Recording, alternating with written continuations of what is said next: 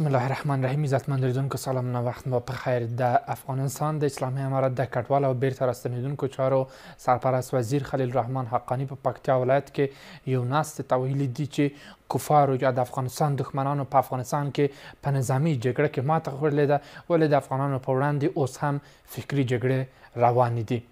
خلیل الرحمن حقانی زیاته کړې ده چې د افغانستان یا د اسلامي امت ټولې اړیکې باید پر دیني اسلامي او ملي ارزښتونو ولاړې وي دا چې په افغانستان کې څو ځله اشغالګرو ماته خوړلې ده اما فکري جګړې تعریف په دغه برخه کې څه ده فکري جګړې کوم عناصر لري په افغانستان کې څنګه کېدلای سي هغه څه چې پر یووالي اتحاد سره د تاکید کېږي هغه په عمل کې هم ثابت سي نن پر بحث کوو د بحث قدرمن ملمانه هم زموږ سره پر همدې موضوع یو ځای سوي دي د سیاسي چارو پوه ښاغلی اختر محمد راسخ زموږ سره د سکایپ له کرښې ملتیا کوي په سټډیو کې سره د نړیوالو چارو پوه ښاغلی محمد عمر نهضت صاحب او همدارنګه تر څو شیبو پورې به د سیاسي چارو پوه ښاغلی اسدالله تعالم زموږ سره یو جای سي عزتمند ملمانو بخیر رسید پروگرام تنهزت صاحب اجازه بدهید بحث را با شما آغاز بکنم آقای حقانی تاکید کرده است که اشغالگران یا کفار در افغانستان شکست نظامی خورده و حالا در تلاش است که یک جنگ گرم فکری در برابر افغان ها را تقویت دهد و این جنگ را آغاز کرده به چی معنی؟ تشکر بر خداوند یکتا و هستی ساز با ادای احترام به شما میمانان نهایت عزیز و گرامی در بحث کارمندان بخش تکنیکی تلویزیون و هموطنان عزتمند آنچه آقای اقانی در این برهه زمانی مطرح کرده مبتنی بر های عینی جامعه ماست آنچه گفتین بر های عینی جامعه ما کاملا صدق میکنه در هیچ شکی وجود نداشته و نداره که مردم افغانستان قهرمانانه در سه مرحله اساس تاریخی بر تاریخ و چشمدای هم که ما دیدیم در چند مرحله خب مردم افغانستان اشغالگرا را به شکست قطعی مواجه ساختین پوز اشغالگرا را به زمین ماریدین یک بار انگلیس ها را بار دوم روس ها را و بار سوم امریکای ها متحدینشانه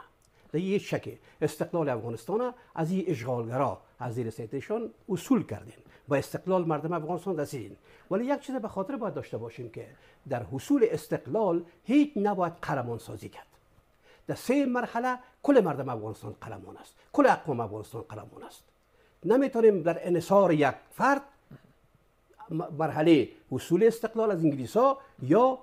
اصول استقلال از روس ها یا اصول استقلال از امریکا یا کل مردم افغانستان در حصول استقلال نقش داشتند و نقش دارند تک تک مردم افغانستان بر قوم و تبار و سمتی که تعلق دارند ایش قهرمان هستند حتی زنی که نان پخته کرده قهرمان است حتی کسی که در پشت رسانه تقبیه کرده ها را در برابرش گفته اشغال شده افغانستان قهرمان است با قلم و قدم کسی که جستار داشته کلش قهرمان است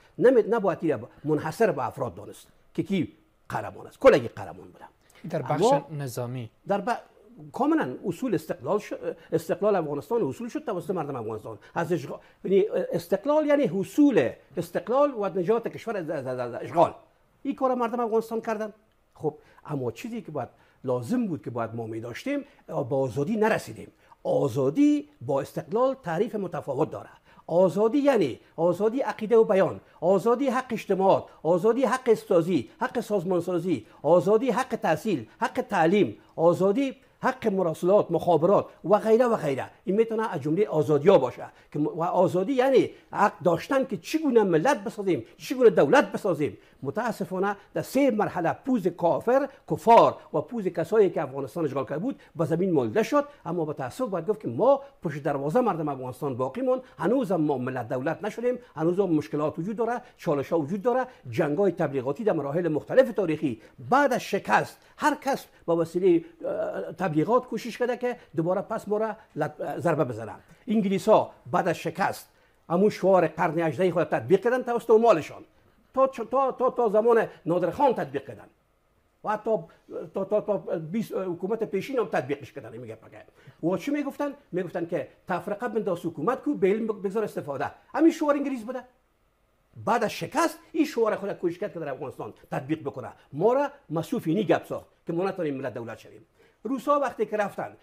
با دستور روسا رهبران مرتجی و وابسته به غیر و مزدور صفت مربوط به حزب دموکراتیک غرب یک در رهبرانشان دستور داد روسا که شما به بساس پیوندهای قومی گرایش پیدا کنید یک بخشش با آقای اکمتیار حزب اسلامی پناه برد بعد از شکست حکومت دکتر نجیب الله یک بخش که مربوط به اقوام غیر پشتون بودن با با با شورای نظار را جمعیت بالا بردند افتراق اجتماعی سیاسی را هم به دستور روسا بعد شکست در افغانستان دامن شد و تا امروز ما در افتراق میسوزیم و این افتراق اجتماعی سیاسی تا 20 سال امریکایا در افغانستان کاملا نهاد شه کشت کردن توسط مالشون در 20 سال دروش کردن و بعد که امریکای از افغانستان برآمدن یا هم با تغییر قاعده بازی آل هم مصروف جنگ های تبلیغاتی هستند از دو دست عدست قطر عدست پاکستان میخوان که افتراق اجتماعی سیاسی را در افغانستان یا بیشتر از پیش تجدید بکنن اما رای است که انگلیس ها قبلا گفته بود تطبیق میکنه شد بسیار تشکر میکنم راسخ صاحب خیر است پروگرام تا تاسم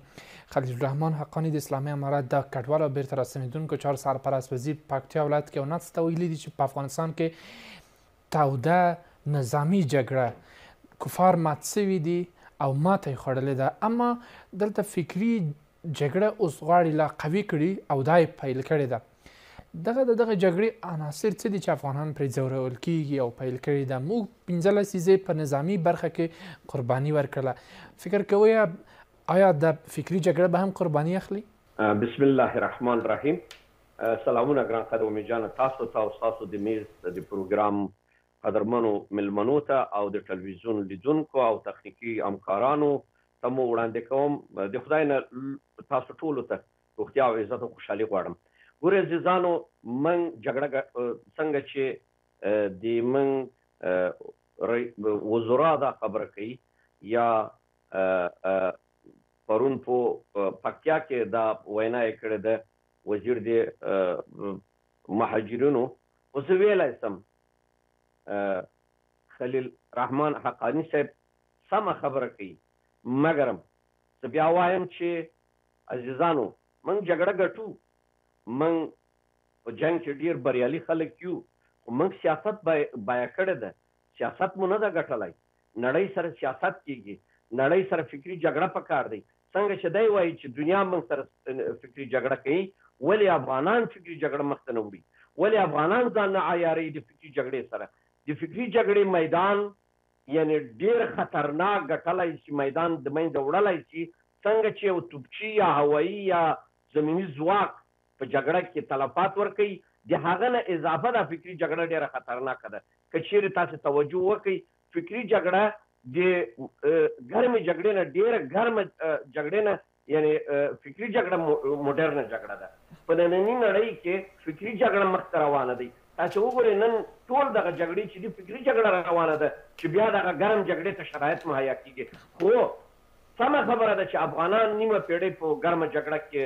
خپل ژوند له لاسه ورکړ، زموږ دار او ندار د منځه ولاړی. خو زمونږ دغه دولتونه چې قدرت ته رسیدلي څنګه چې میلمه وویلې نه تنها دا خبره به مونږ تنها په حزب دموکراتیک به واچوو یا په روسانو یا په غربي نړۍ او یا په امریکایانو دا زمونږ خپله یمونږ د رهبرۍ زمونږ د ولس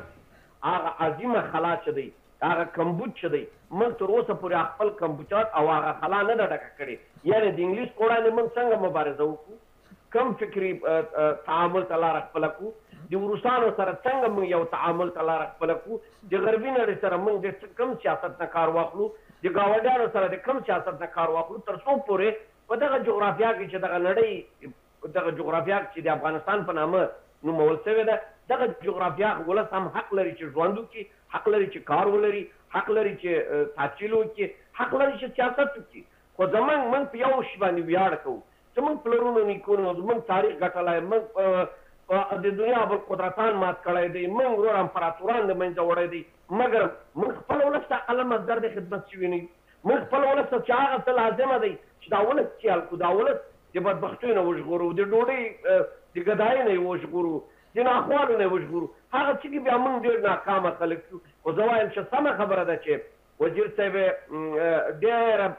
حساس ټکي ته یې توجه کړې ده، خو ده ته هم باید توجه کړې وای چې څنګه موږ نشو کولای دنیا سره سیاست وکړو، نو دا علت څه شی دی؟ علت زموږ خپله دی عزیزانو، موږ دغه پړه په هر چا باید نور وانړوو چې دلته فکري جګړه روانه ده، فکري جګړه روانه ده، اقتصادي جګړه روانه ده، سیاسي جګړه روانه ده، تاسې ښه پوهېږئ چې ستا معدنیات یو زر څلور سوه معدنه دې د ځمکې لاندې پروت دی، خوږې اوبه لرې، ښکلي غرونه لرې، ښکلی صاحب خدای طبیعت درکړی، ښکلې مېوې لرې، دغه دپاره دښمنان دې تلاش کوي چې دا په موږ څه باندې درنوي شي، نو زموږ دنده څه ده، د ولس دنده څه ده، د موږ د دولتمدارانو دنده څه ده، دغه دندو ته موږ توجه نه ده کړې، ګورئ موږ فقط خپل د مسولیت بار موږ په نورو اړولی،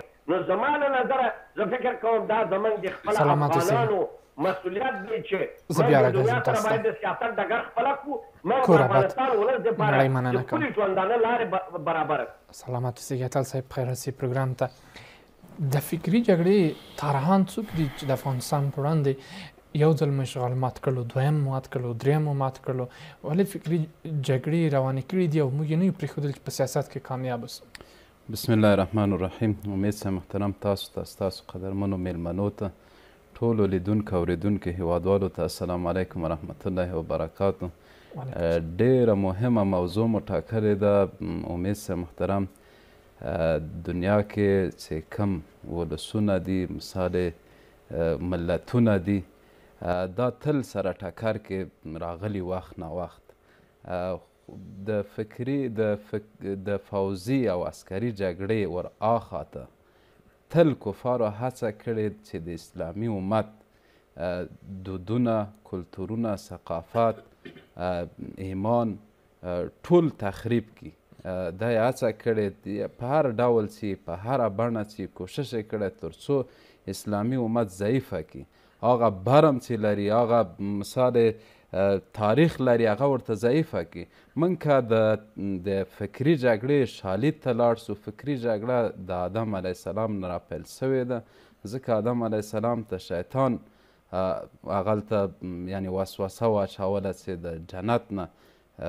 محروم سه او راغی ځمکې ته دنیا ته همداسې د اسلام د پیل نه د اسلام مبارک د پیل نه د رسول الله صلی الله علیه وسلم په وخت کې چې رسول الله صلی الله علیه وسلم خلکو ته د نیکو دعوت کاوه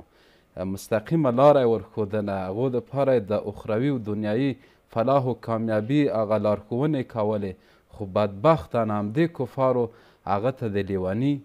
هغه ته د شاعر هغه ته د جاهل هغه ته د قسمه قسمه تورونو یعنې نومونه اخیستل تورناوی همداسې اوس هم که افغانستان ته راسو دې فکري جګړې یعنې ډېرې غټې امپراتورۍ د د تاریخ په اوږدو کې پرځولې دي که موږ یعنې حقیقي دا فکري جګړه وینو د تاریخ په اوږدو کې غټې امپراتورنې راپرځولې دي نو کله افغانستان کې مثال د څو لسیزو کې د څو لسیزو نه پخوا همدغه پروسه روانه ده کفر د خپلې جګړې نه نه شاته کیږي اوس که په نظامی ډګر کې یوه یوه ډله شکست خوري په مقابل کې فکری جګړه فکری جګړه تر اخره دوام کوي د حق او باطل ترمنځ تر څو ځان غالبه کړي، ځان حاکمه کړي، نو افغانستان کې تل دغه فکري جګړه د نظامي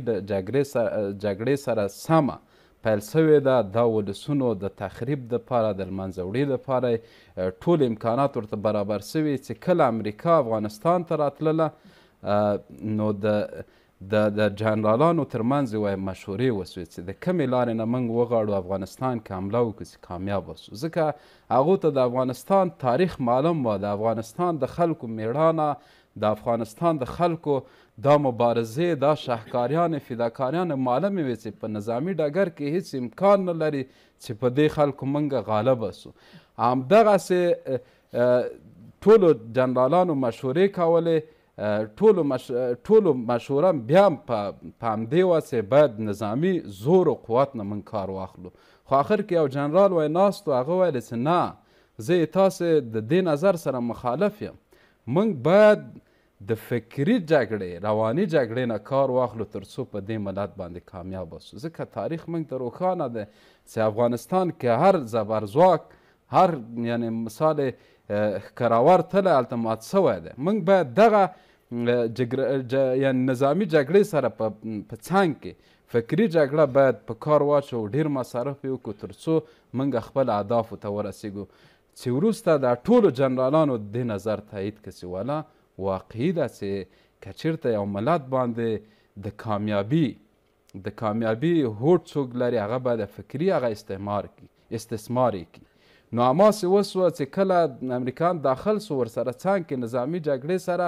فکری جګړه دلته ځینې کرایه سوي خلک واخستل حتی داسې داسې ښځې تربیه کړې چې برهنه یعنی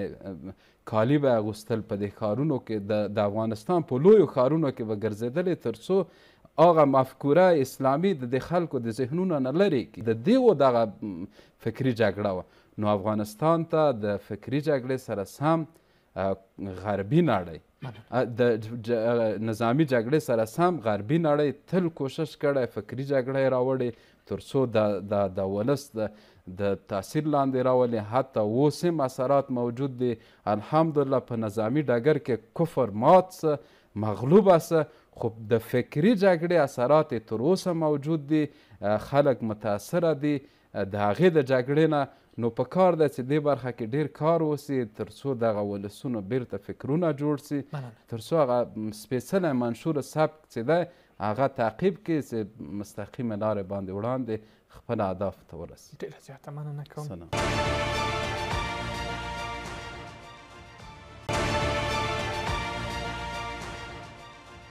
ولی نهزت صاحب فکر میکنید چی تاثیرات هنوز وجود داره که بر اسخان مردم بر روح روان مردم حداقل جنگ های فکری تاثیر گذاشته باشه فکر میکنید از چه عناصر استفاده کرده که فعلا ما در جامعه حس میکنیم جنگ فکری همون شکلی که ما یا تبلیغاتی پیشتر هم عرض کردیم که در سه مرحله که مردم افغانستان اجنبی را شکست دادن با تعقیبش این جنگ علیه کشور ما سازمان دادن و فعلا تجدید شده چرا تجدید شده به خاطر اینکه سیستم های حقوقی جان ماسر پاسخگو نیست نه لرزان شده سیستم های حقوقی جان ماسر پاسخگو نیستن فعلا به شهروندانشان و ملت هایی که زیر چتر سیستم ها نظام سازی کرده بودند دولت سازی کرده بودند پاسخگو نیستند لرزان هستند هم سیستم حقوقی کاملا بار باری گپ مطرح کردیم حتی نظام پیشین مطرح کردیم نمیرسان هم سیستم حقوقی کاملا هم من جرمن در سیستم حقوقی جان اسلام همش ما نیست برای مدت جان اسلام امروز آقای اردوغان به تیپ ترکیه عثمانی میخواه که جهان مدیریت بکنه دغدغه ایشیز که ما زمام امور جهان به دست میگیرم ما امیر مومنین می باشم که جهان ما مدیریت میکنم با تیپ ترکیه عثمانی در حالی که شرایط فرق میکنه نسبت به ترکیه عثمانی عربستان سعودی میگو ما برای عجم اجازه نمیتون ما عرب باید جهان اسلام مدیریت بکنه به تیپ وهابیش در چوکات فقه حنفی ایران میگو نی ما در چوکات فقه جعفر جهان مدیریت میکنم ایران مدعی شکل است بناهن در سیستم حقوقی جهان اسلام برای مدیریت جهان اجماع وجود نداره. امارات اسلامی موقف روشن نسبت به 256 کشور دیگه اسلامی داره چی است منتقد است نسبت به دیگه کشورها دیگه کشورهای اسلامی هم چون نتونسته ببینید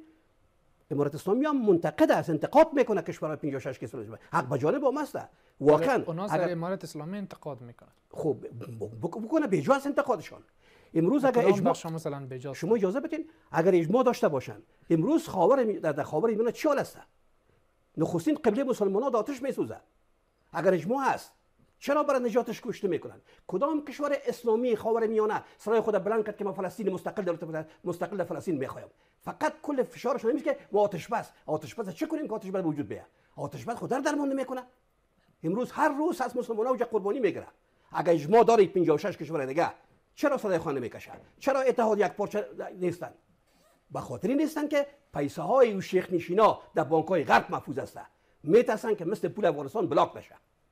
از این خاطر است که فقط کوشش میکنن که ظاهرا یک شکل در باطن دیگه شکل عمل میکنن ما امروز میبینیم که جستارها کاملا نیابتی نسبت به افغانستان و میترسن هم که امارت اسلامی وقتی که منتقد است اینا جهان اسلام مدیریت نکنند تشویش جهان یعنی کشورهای مربوط به کاملا رو است و توانایی است خوی سر توانیش گپ بعدی است ولی نگران هستند که امارت اسلامی هم شکلی که منتقد است این امیر داره جان اسلام این مدیریت نکنه اصلاحات به وجود نبره ترس دارن نگران هستند که دو سیستم از وا رو به افول رفته و نقش اجمونی امریکا در حال افول است از این ترس دارند؟ روی اینی ملحوظ که اونا کوشش میکنن که جستارای خود به شکل نیابتی استخباراتی و استراتژیک تنظیم کنن و توسط عمال نابکار خود مثل که در 20 سال به گردای ما بار کردن عمال خود افتراق اجتماعی سیاسی را در افغانستان نهادی نکردن کش کردن درو کردن دشه هنوز هم به نام قوم قبیله سم تبار حزب گروه این آن مردم افغانستان گروگان گرفتن در 20 سال آل توسط مال خود دوباره پس میخواه که توسط مورای سوخته که دوباره پس جنگ های تبلیغاتی را امینا برانداختین و این حرکت منافقان است ما بار بار منافق دو قسم است در سطح اسلام وجود داشت یکی منافق عقیدتی است یکی منافق عملی است منافق عقیدتی منافق است که ظاهرش یک شکل است باطنش دیگه شکل است با محتویات اما تو بلا باور نداره ظاهرا اقرار اقرار میکنه به زبان قلبا باور نداره به که میگو این عقیدتی است که در سطح سام بوده وجود داره ولی منافقایی که عملی کار میکنن چهار قسم هستند اول دروغ میگوین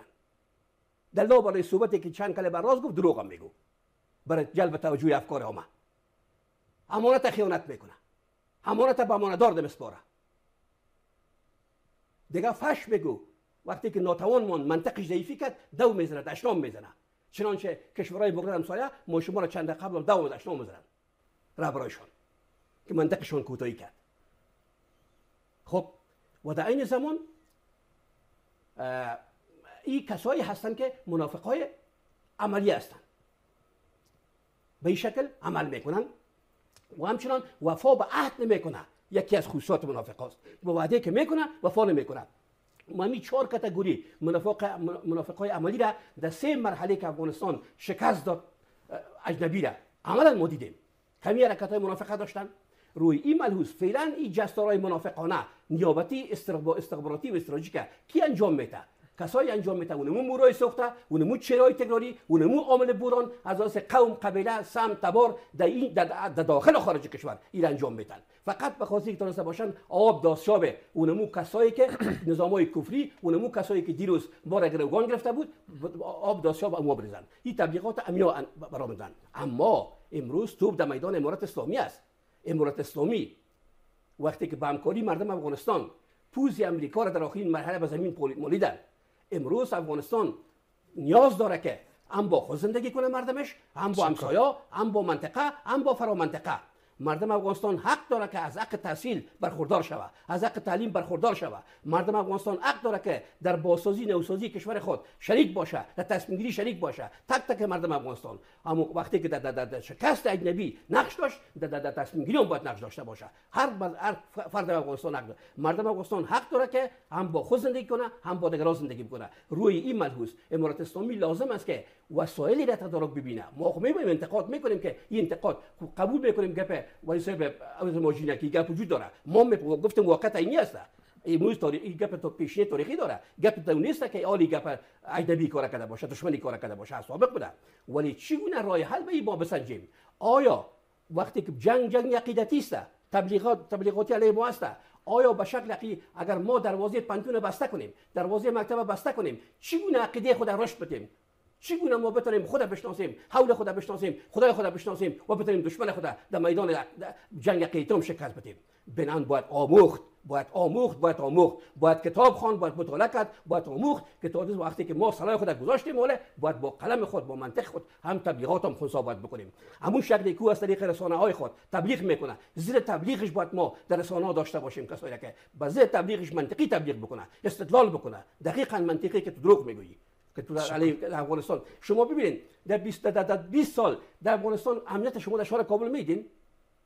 ولی امروز ما میبینم امنیت مزایق در سی و چهار ولایت تامین است چرا این واقعیت مطرح نمیکنند و تبلیغ میکنه که امنیت نیست در حالی که در, در 20 سال چرا نگفتی که امنیت نیست موبایل مردم در شهر کابل مردم جیبش میزن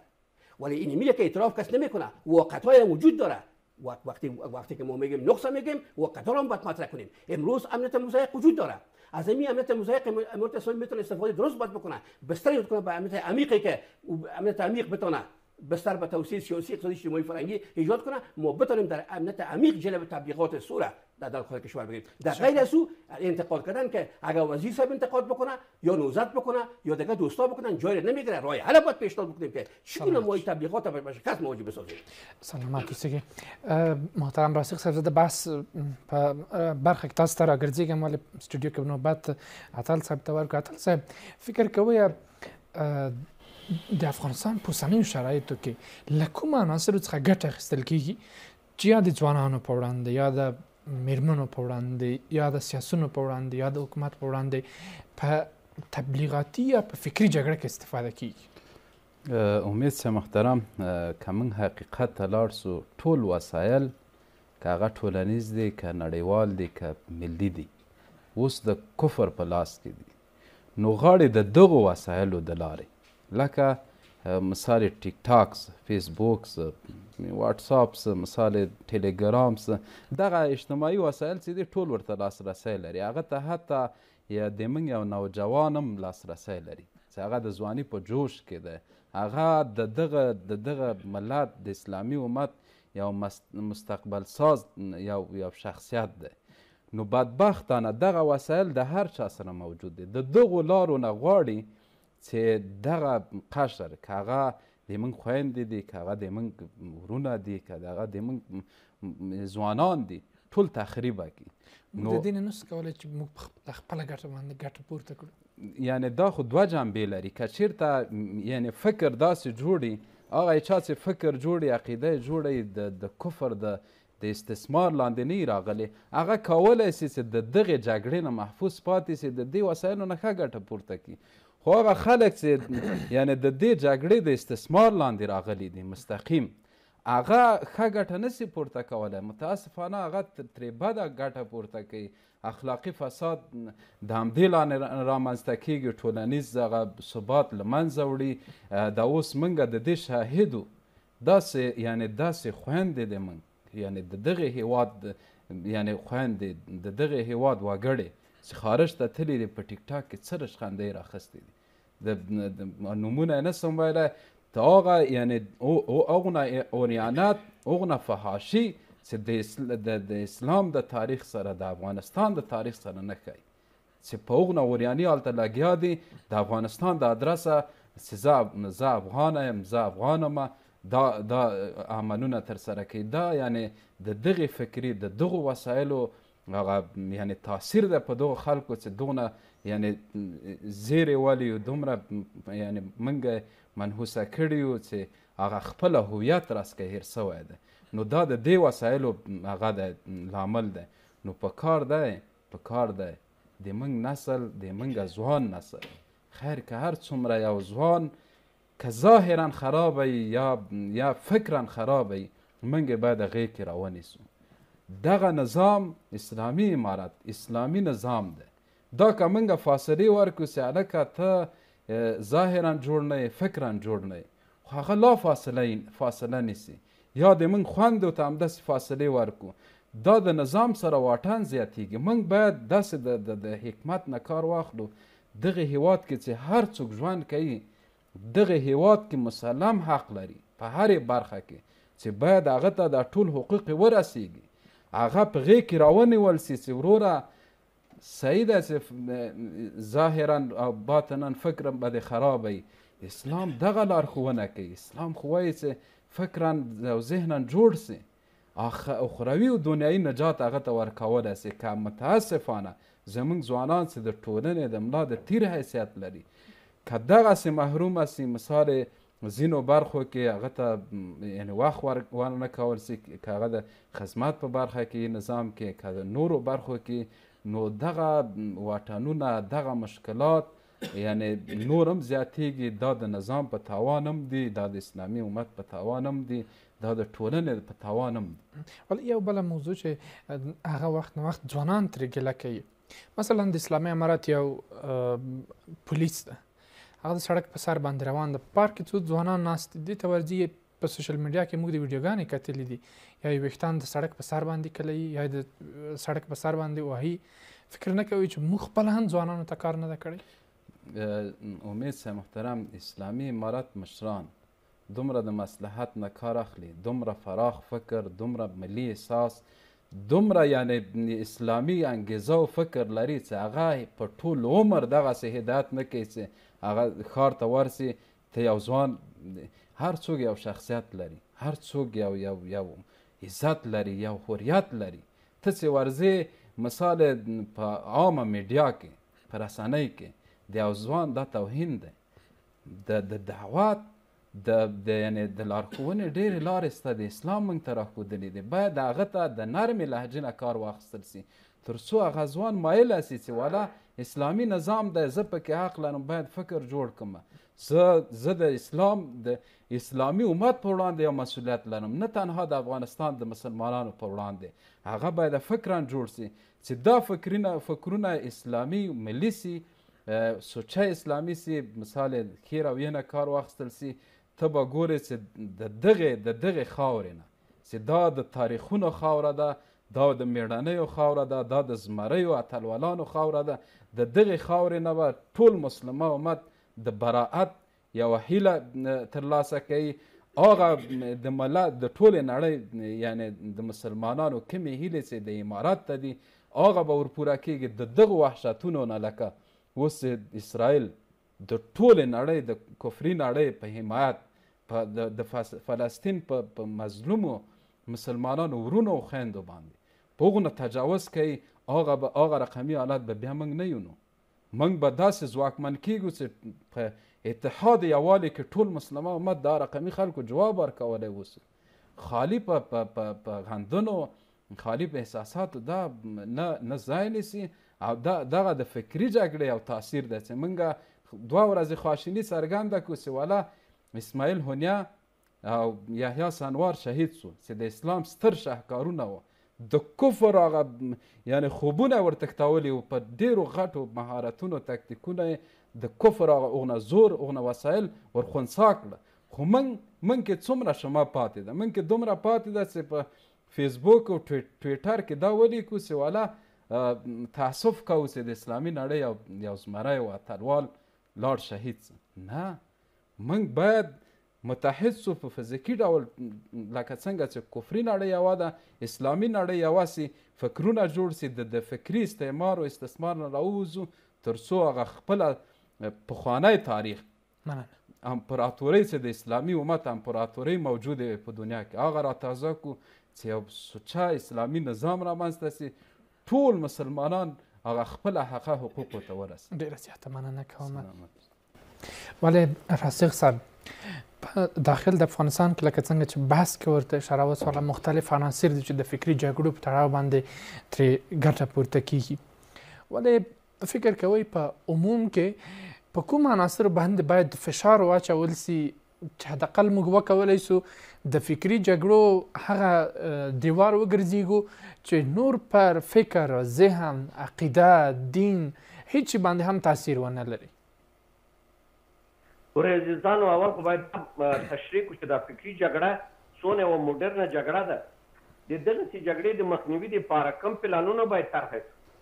ګورئ عزیزانو فکري جګړه د هغه په یو اقتصادي هغه ملک کې چې د اقتصاد بحران وي هغه ملک چې د کاریابي بحران وي، هغه ملک چې د تحصیلاتو بحران وي، هغه ملک چې ولس یې لا تحصیل کړی نه وي، خپل ځان یې پېژندلی نه وي، خپل تاریخ یې پېژندلی نه وي، خپل مملکت یې پېژندلی نه وي، خپل اقتصاد یې پېژندلی نه وي، خپله دونه پوه نه شي چې زما د دغې جغرافیا لاندې څه پرته ده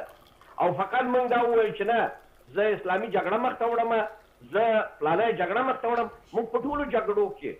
زه بیا هم دا خبره په ډاګه کوم، افغانان مونږ په دغه باندې ډیر ځانونو ته وجدانتاً یعنی مونږ اقرار باید وکړو چې مونږ ځان ته دغه ورکوو چې مونږ میدان ګټلی دی، مونږ میدان ګوره مونږ په شهادت کې میدان ګټلی دی، مونږ په خدمت کې میدان بایللی دی، مونږ خپل ولس په هغه څه چې عیار غواړي، هغه څه چې ولس غواړي، هغه څه چې د زمان تقاضا دی، هغه څه چې د نړۍ تقاضا دی، هغه سره مونږ عیار نه یو، ګورئ مخکې مېلمه وویله تاسې وویل چې ټیک ټاک یې یاد کړئ ټکنالوژي یې یاده کړله ټکنالوژي چا جوړه کړله ولې دا اسلامي ملکونه ټکنالوژي نشي جوړولای ولې دا اسلامي ملکونه یو ټیک ټاک ځانته نشي جوړ علت دا دی چې موږ په دغسې فقر په دغسې بدبختیو په دغسې عقبګردیو په دغسې پاتیوالو کې موږ ساتل کېږو، تر څو پورې موږ موډرنه ټکنالوژي ونه لرو، موږ د اقتصاد ته ښه لاره ونه لرو، موږ اقتصاد زموږ په لاس کې نه وي، ولې اقتصاد د غربي نړۍ په لاس کې دی، ولې اقتصاد دی او ولې بانکونه ټول د یهودانو په لاس کې دی، علت یې دا دی عزیزانو چې زموږ رهبران ټول تالي څټي ول، زموږ رهبران د خپل ولس په سترګو کې خاورې شیندلي، زموږ رهبران خپل ولس یې په لاس ساقي صاحب په کندو کي غورځولی دی، په تیارو کي یې ساتلی دی، سرسوزي یې غربي نړۍ او د دغه دغه یهودان او د دغه کفارو موږ غلامان پاتي شو، نو دغه غلامي چا په ما تپلې ده؟ دغه خویندي چي دا اوس تا ته وویل چي په ټیک ټاک کي یا دغه افغانان چي په دې ټیک ټاک کي پروګرامونه شروع کړي دي او د خپل هویت نه خبر نه دی، د خپل دین نه خبر نه دی، د خپل کلتور نه خبر نه دی دا دده مسؤلیت د چا په غاړه دی دا زما په غاړه دی دا ستا په غاړه دی دا دی د دغه اسلامي حومت په غاړه دی د دغه رهبرانو په غاړه دی که تا جهاد کړی دی که تا جنګ ګټلی دی نو ولس ته اوس ډوډۍ وګټه ولس ته اوس د کار زمینه مساعده کړه ولس اوس پوه کړه ولس ته د لوړو تحصیلاتو لاره همواره کړئ ولس څونه چې آګاه شي دومره به مبارزه کې عام فکري مبارزه کې بیا بریالی کیدای شي هم په سیاسي مبارزه کې بیا بریالی کېدای شي، هم په اقتصادي مبارزه کې بیا بریالی کېدای شي او هم په فکري مبارزه کې. غاړه مو بنده، نه ټوپک زما دی، نه مرمۍ زما دی، نه یې کمپنۍ لرم، اما هر میدان کې کېنم چې ما ورور ابوالقدرت مات کړی دی. والله دا ابوالقدرتانو هم یې په مرمۍ وژلی یم، هم یې په بمونو ووژلو، هم یې په فکري جګړه کې وژلی یم، هم یې په سیاست کې وژلی یم، هم یې په اقتصاد کې وژلی یم، په هره برخه کې زه مړ یم. ولې مړ یم؟ که مړ نه یم؟ پنځلس میلیونه افغانان نن په بهر کې مهاجر دی، د مهاجرت ژوند کوي، ولې زه د مهاجرت ژوند کوم؟ ولې دا خلک مهاجرت ته تشویقیږي؟ ولې دا مهاجرت لاره ورځ تر بلې لویږي؟ ولې دا د مهاجر نوم ولې په موږ کې وتپل شو؟ علت دا دی چې دا زموږ دولتمداران خپله دنده نه ده پیژندلې، هر هغه وزیر، هر هغه څوک چې رهبري دعوه کوي دا د ولس لپاره باید خدمت وکړي، ته ګوري زمونږ جګړه نن د خپله مسلمانانو تر منځ دی څنګه چې مېلمه وویلې چې یهودان یا اسراییل فلسطین څنګه وژني خو چېرې دي دا اسلامي ملکونه چېرې دي دا عربان ولې ورک سول ولې دوی په سویډ کې پاتې علت یې دا دی عزیزانو عرب پوهیږي چې زما زور د اسراییل سره نه رسیږي، عرب پوهیږي چې زه اقتصادي کې یم ده ته زیان ما ته زیان رسوي، عرب پوهیږي چې د ده تکنالوژي دومره لوړه ده چې ما وژني، هغه ځان ګونګی کړی دی. که چیرې نن عربان پوه شي چې زه اسراییل د خاورې سره دې بحر ته اچوای شم، ولاکه لس سیکنډه ورته فکر نور ورته تم شي، مګر موږ په دغسې یو جهالت، په دغسې یو بدبختۍ، په دغسې یو فقر، په دغسې یو بې تکنالوژۍ کې ساتلي یو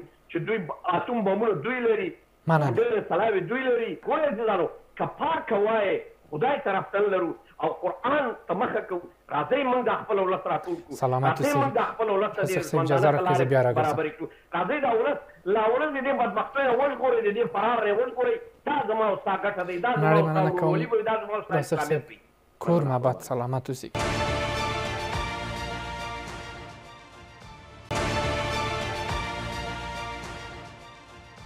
نازد صاحب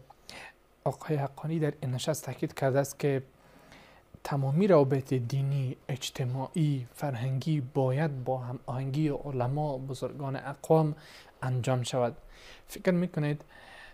اگر این کار صورت بگیرد تا چقدر ما میتوانیم در برابر دشمنان مبارزه کرد؟ دقیقا اساسات نظام اسلام بر سه تا اصل استوار است. نظام های اسلامی که واقعا پاسخگو هستند نسبت به ملت مسلمان اول اصل اول شوراست اصل دوم امارت است اصل سوم عدالت است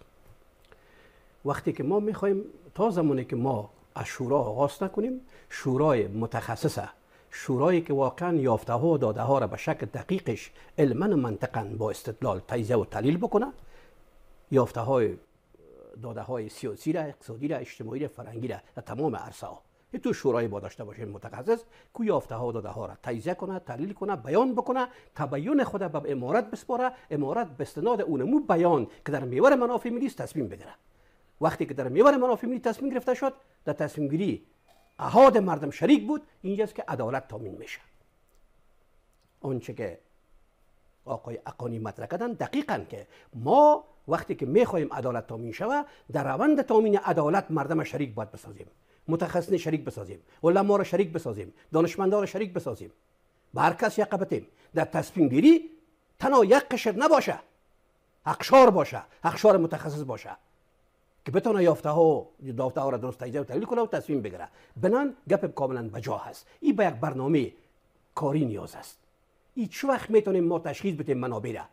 کمی منابع سیاسی کدام است اقتصادی کدام است اجتماعی کدام است فرنگی کدام است نیاز است که ما اول منابع را تشخیص بکنیم بعد به اساس سلسله مراتب اهداف مطابق به اصول روابط بین الملل ما بعد از اینکه به اساس سلسله مراتب اولویت بندی کنیم که کدامش برای ما اولویت داره اول به کدامش بپردازیم آیا اول ما سر می پاچه تا بالا بچسبیم که زنا را بگویم پاچه تا پایین بکو مردا را بگویم بالا بکو امی برای ما صحیح است یا کدام گپ دیگه برای ما اولویت داره این هم میکنه میکاره اما به نوبتش اولویت در میشوه در میوره منافع میری این میگه که بستر اینجا چه وقت میشه ما به خاطر که ریشابی کردیم که کنیم که بوران افغانستان که بار بار ما گفتیم که پیشنه تاریخی داره از جنس نیابتی است استخباراتی است و استراتژیک است بازیگرا برنامه استراتژیک دارن در که ما از قبل داشتن هم شرقش هم غربش هم امال نابکار منطقویش وقتی میتونیم این تشخیص کنیم که بار بار می پیشنهاد دادیم حالا پیشنهاد میکنم به که راه حل جنگ نیست منطق جنگ منتفی شده با وجودی که امروز با, با دو کرد غرب عمل میکنه هم با روی کرد جنگ هم با روی کرد تبلیغات ولی منتفی شده حال ما بخاطری که بتانیم جنگ تبلیغاتی را منتفی کنیم جنگ خو گرم جمع شده بریم به طرف یک گفتمان ملی که تا شابی کنیم برون افغانستانه یک گفتمان ملی حقوق میور نه تکلیف میوره که فرمت مسکو تکلیف ما تعیین بکنه یا واشنگتن یا قطر یا اسلام آباد یا تهران بریم به طرف یک گفتمان ملی حقوق میور که در اوجا ما ریشیابی کنیم بران افغانستان رو واکاوی کنیم که این بوران ما چه قسم پیش نداره چه قسم نیابتی است چه قسم استخباراتی است بعد از تشخیص لابراتوار کردنش توسط اونمو کسایی که واقعا متخصصن در جمع ما یک برنامه ملی ریخت بکنیم برنامه ملی ما را میتونه برای ما بستر ایجاد کنه که ما برای جنگ تبلیغاتی اقدام باید بکنیم سلامت حسین اصل مسئولیت د ملت ته د فکري جګړو مخنیوی وسي امید صاحب محترم حدیث مبارک کې راځي الا کلکم راع و کلکم مسئول عن رعیته نو د دې حدیث د دې حدیث ته په کاتو نبی علیه الصلاۃ والسلام ټول مسلمانانو ته دا هدایت کړی چې د خپل مسئولیت مطابق د ټول د ټول ماتحت پر وړاندې مسئول دي هر یو مثال لږ یو څوک د چا نه لږ پوهه لري هغه د بل په وړاندې مسؤل دی همداسې حاکم د ریات تر لاندې مسؤل دی سلسلتا نو د ملت ونډه ډیره زیاته ده خو ځینې وخت کې موږ د اسلامي امارت د راتګ نه مخکې فتح نه مخکې البته ډیر کمیسیونونه وجود درلود اسلامي امارت چې فعالیتونه درلوده په ټولو برخو کې په دې کې یو دوه کمیسون نه چې مثال درې کمیسونه چې د همدې فکري جګړې ته وقف و مثال فرهنګي کمیسون و د عالی تحصیلات او تعلیم تربیه کمیسون و دې کې منګه ډیر پیاوړي مخلص مبارزین درلوده په هغه وخت کې په سختو شرایطو کې د پانتون د زړه نه یعنی د مخ مخا د د مخالف دغه دغه د د زړه نه فعالیتونه درلوده د د کفر په وړاندې د کفر د دسیسو د فکری یعنی مهلک هغه دسیسو په وړاندې فعالیت یې کاوه نشرات یې کول تر څو دغه ولس د بحران نه وژغوري د دغه فکری د د مهلک یرغل نه وژغوري ډیر قوي فعالیتونه یې کړي اوس هم اړتیا ده همغو مبارزینو ته ټولو مبارزینو ته څوک چې یعنی مثال تعلیمات لري تحصیلات لري هغه د دې مبارزې وړ دي او مبارزه کولای شي د فکري مبارزې په وړاندې فردي او ملي د ټولو مسؤلیت دی چې باید حق ادا کړي د دې کفر د دغې څپې په وړاندې داسې ودرېږي تر څو دغه دسایسې ورمحوه کړي اوس ځینې کسان د مونږ د هیواد نه وتلي صحیح ده افغانستان کې نوی اسلامي نظام راغلی سوچه اسلامي نظام راغلی داسې نظام راغلی ده چې په دې یعنی څو لسیزو کې نه د چا د استعمار لاندې دی نه د چا د استعمار لاندې دی مستقل نظام دی نو داسې نوی راغلی دی، دا دا به پیاوړی کېږي، دا به قوي کېږي، د هرې برخې مبارزې ته اړتیا ده، هغه خلک چې مثال یې هېواد نه تللي وای مهاجر دي، صحیح ده ځینې هغه مهاجرین دي هغه مستحق مهاجرین دي د مجبوریته تللي، د یوې لقمې ډوډۍ دپاره تللي، هلته هم ډوډۍ پیدا کوي، دا دا دا دغه پروسه چې ده دا څو لسیزې چې ده یعنې څلور نیمې لسیزې دا پروسه روانه ده، دا په امارت کې دومره نه ده ډېره سوې، امارت کې هغه کسان وتلي د افغانستان نه، په داسې حال کې چې اسلامي امارت په لومړۍ ورځ کې عفوه عمومي اعلان کړه چې راځئ په ګډه دا نظام جوړ کړو، هېچا ته خطر نشته، هغه کسان چې دې هېواد نه د اسلامي امارت د راتګ سره وتلي هغه د د اکثره د د کفري نړۍ د د د استعمار لاندې دي، د فکري استعمار استثمار لاندې دي، هغو د د تاثیر لاندې راغلي، هغه تللي دي. نو چا خو ورته نه ویل چې ته ووځه تا ته خطر دی خو راسه هېواد کې عفو عمومي ده هغه د خواهشاتو په بنا وتلي دي هغه د خپله خواهش خواهشي غرایزو په بنا وتلي هغه مهاجرین مهاجرین هغه مهاجرین نه دي چې هغه مستحقین دي لکه نور هیوادو کې نو په دې د فکري جګړې په وړاندې د افرادو د مسؤلینو د استثنااتو د ټولو مسؤلیت دی تر څو په په مسؤلیت مسؤلیت توګه د دې په وړاندې مبارزه وکړي تر څو دغه اسلامي امت د د کفر د سیستم وژغوري ډېر زیاته مننه کوم راسو صاحب پر هر بنا باندې پر هر سطح باندې فکر کوي په حکومت کې که هر څوک وو هر څوک دی او هر څوک وي د ملت مسؤلیتونه څه دي چې د ملت د فکري جګړې څخه متضرره نسی ملت څه باید تر سره کړي فکر کوي ګوري عزیزانو اول دغه فکري جګړه ما تاسو ته تشریح کړله چې فکري جګړه په یو پوهه باندې کیږي په یو درایت باندې کیږي په یو د نړۍ په سیاست چې پوه شي ته پوهېږي چې د ده په وړاندې څنګه زه مبارزه وکړم یو څوک چې دی خپل ماحول ونه پېژني، خپل کلی ونه پېژني، خپله خېټې به ته اقلاً ډوډۍ ونه لري، خپله بېچاره ورځ ته ما ورځ په خټو او په په دېقانۍ کې لګي، هغه څه هغه فکري مبارزې باندې څه پوهېږي؟ وه قربان دې شم! زه يايم که چېرې واقعاً افغانان دې فکري مبارزې ته ځان عياروي، لمړنی کار باید دولت ورسره څه وکړي؟ دولت مداران دي. دا دولت مداران دي چې